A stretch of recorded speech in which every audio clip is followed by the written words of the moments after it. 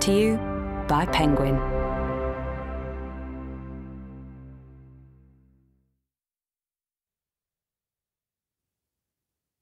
Future Proof Your Business by Tom Cheesewright, read by Leighton Pugh. Introduction Let me start with a nightmare. Imagine you're driving down the motorway at speed and you lose control of your car.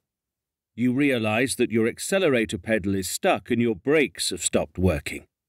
As your speed increases, cars and trucks start rushing towards you and you begin to swerve across the road as you try desperately to avoid a collision. Your adrenaline levels skyrocket, panic rises, and survival strategies whir through your brain at lightning speed. One wrong move now could be catastrophic. What is going to keep you alive? This is the scenario that every leader in business faces today. We are all operating in an age of high frequency change.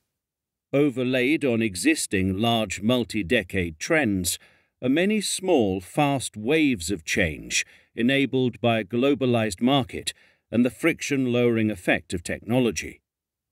These high frequency waves carry rapid shifts in everything from consumer products to popular culture and from corporate systems to customer attitudes. Their effects tend to be narrow, touching just one sector or industry or even a single company, but within those narrow bounds they can be extremely disruptive. Business people around the world are finding that the pace of this change is accelerating. More obstacles are appearing and creating an increasingly complex landscape in which to manage a successful business, both now and in the future. So, how do you survive? The phenomenon of high frequency change has forced organisations from BMW to the British government to think differently about how they do business, and in doing so they have often called on me for advice. This book contains the distilled lessons that I have learned while working with many different organisations on the challenges they face in preparing for the future. This is my tried and tested method for changing the outlook, behaviour, and even shape of any business to prepare it for the uncertainty of tomorrow. The book is structured around the three core characteristics of future ready organizations, characteristics that are very similar to those we see in the world's best athletes. Top sports stars shape their bodies for the challenges facing them. They build the agility and strength they require for their discipline. They are limber and supple and able to show resilience in the face of sometimes punishing competition you will similarly need to build a culture of agility within your own organization. You will learn in this book how to reshape your business for an age where adaptability to tomorrow's challenge is a better predictor of success than being perfectly optimized to today's conditions. Successful athletes have both a profound sense of their immediate environment and great strategic awareness. They can read the game before anyone else and translate that understanding into winning action. Think about the racing driver with an almost sixth sense about the positions of their competitors behind them. Think about the marathon runner knowing exactly when to make their break, or the footballer able to make that defence splitting diagonal pass, placing the ball on the boot of the winger who they just know will be running forward to receive it. Foresight like this is a skill of fundamental importance to leaders. In this book, you will learn to hone your ability to spot potential obstacles before they arise. The further off you can identify issues, the more chance you have of preparing yourself, steering your organization towards safety, and staying in control of your operational environment. Winning athletes process information quickly and make the right decisions. They absorb the rich information from their senses and map out the possibilities that their foresight presents. Then they make a decision and take action. Fast. You must do the same, accelerating the flow of useful information through your business and speeding the response to external stimuli. These three characteristics agility, awareness, and action are visible in the most future proof businesses. I call such businesses athletic organizations. Use the proven tools in this book, and you can make your organization more athletic. Each of the three parts addresses one of the three characteristics. The first part of this book is about the structure of your business, about getting fit like the athlete and sufficiently agile to face the challenges ahead. Just as a better handling car would give you the greatest chance of survival in the motorway scenario with which I began, a more agile business is better equipped to respond to future shocks. Business leaders around the world know that the future is more uncertain now than ever. They know that their business models may have a shorter shelf life than they would have had 10 or 20 years ago, so they are changing the structure of their businesses to make them more agile. Instead of optimizing for today's reality, they are building businesses that can adapt constantly for more sustainable success. In part one, I will explain the fundamentals of structuring a business that can be continually reconfigured to meet changing market demands.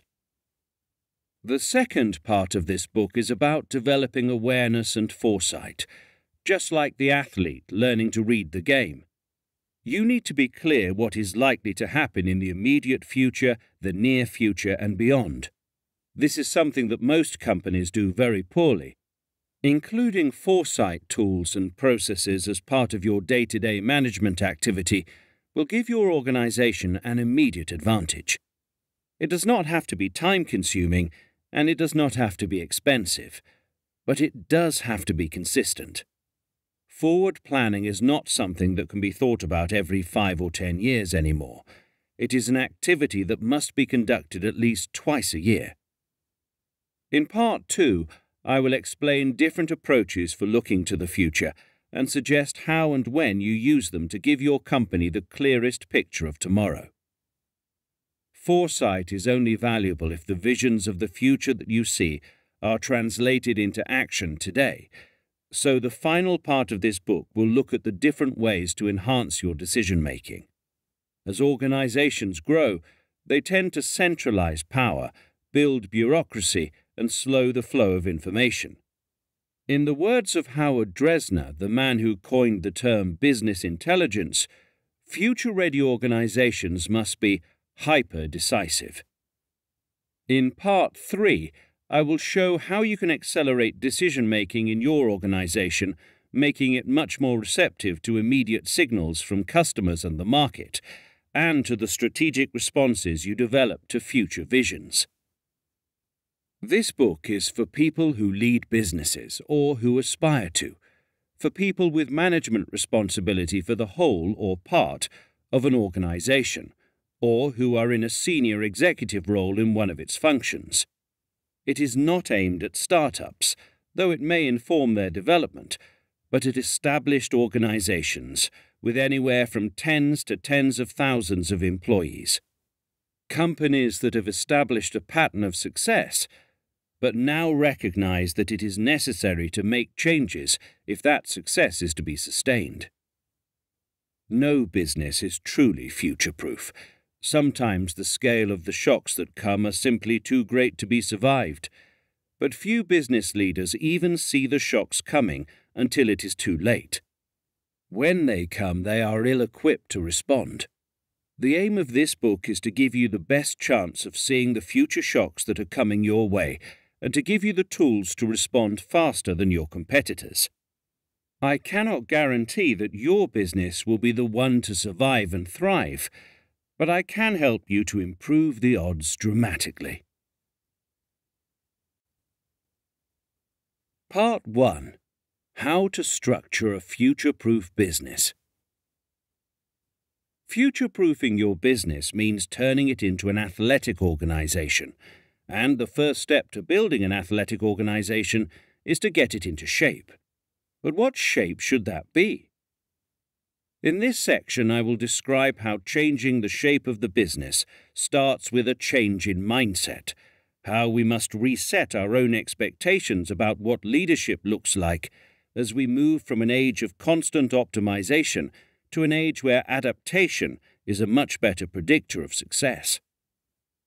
Based on this understanding, how can we build businesses, especially large complex ones, that are well equipped for rapid adaptation? It can be done, and I will show you how. We hope you enjoyed this preview. To continue listening to this audiobook on Google Play Books, use the link in the video description.